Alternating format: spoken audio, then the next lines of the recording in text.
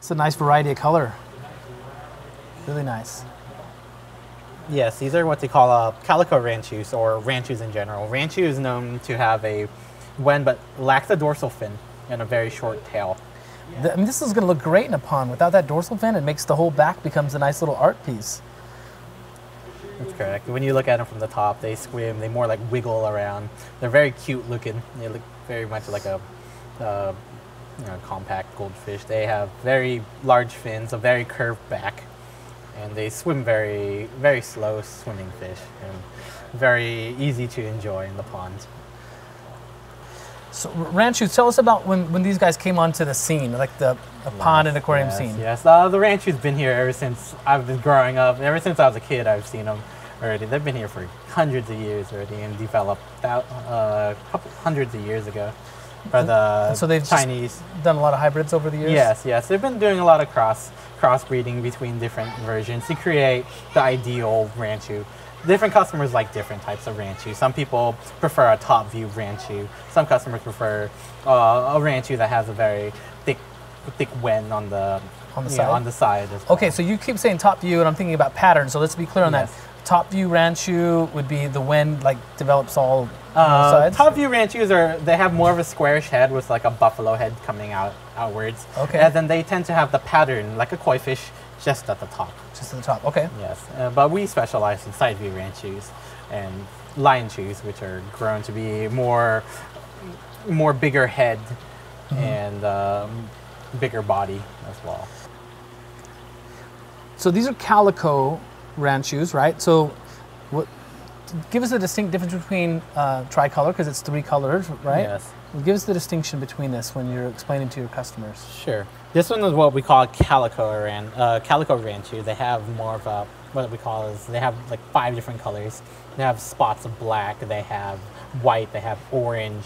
They have some reds as well. Um, there's uh, also what they call black ranchu, which is very black in tone. Uh, red and white, or what we call orange and white ranchu. This is what we call a Kinrin ranchu. It has a very dark tone at the upper upper upper side and then very lighter tone at the bottom. Kinrin with a K, right? Yes, it's a K I N R I N Kinrin. Interesting, because when we talk about koi, there's a ginrin, which is the shiny scales, and some of these have the shiny scales. You can see it in there. Yes. So uh, when you first said it, I thought we were talking about was it the same reference? So that's good to know. And and the difference distinction. See how this is polka dotted, and the tricolors that we had earlier, those were more like black stripes and patches of black. Right. So the calicos is that the distinction between the the, the spotted? Yes, they Okay. have a. It's more of a mixed color with uh, black spots or black blotches around them. That's what makes it very distinct. There's uh, darker tone calicos. There's a lighter tone calicos. Calicos are just basically a mix of different colors, and then they blend together. And you said five colors. So the normal eye would see three colors, right? The you know white, black, and Mm-hmm. and orange. But you're getting kind of those blues and grays mixed in there because of the scale Correct. overlapping, right? So Yes. we're calling this a five-color fish, Yes. not a tricolor fish. Yeah, but it's more known to be called a calico. In Thailand, we call it a five color five color fish. Okay. Because the the blues you get sometimes you get the whites as well. You get red and black mixed together. Sometimes yellow. These are great. They're so interesting because they have no dorsal fin. I love that. Yeah, it's a very cute looking fish. They swim around.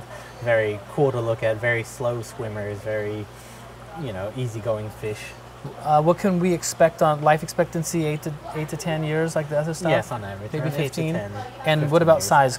Size wise, these guys could get uh, body wise, they could get around seven to eight inches. Body itself. And so their fins are way more compact than, than the, the butterflies and the orandas that we were looking Yes, at earlier. yeah. So the, they're going to say look at a little bit smaller because their tail's smaller. Yes, But the we- body's the same size as the other fish? Yes, we call it a basically similar to a short tail. We call them Okay. a short tail. So the tails are very short, very compact together, um, very high. Uh, like you can see, like a wen growth. There's different types of ranchus. There's what they call a hybrid ranchu, or uh what they call is a it's a cross between a Japanese ranchu and a Chinese lionhead ranchu. Uh, Chinese lionhead, which uh, the the it's just like this type right here. They call it. The head grows outwards, very very rounded head, very very big wen on the side.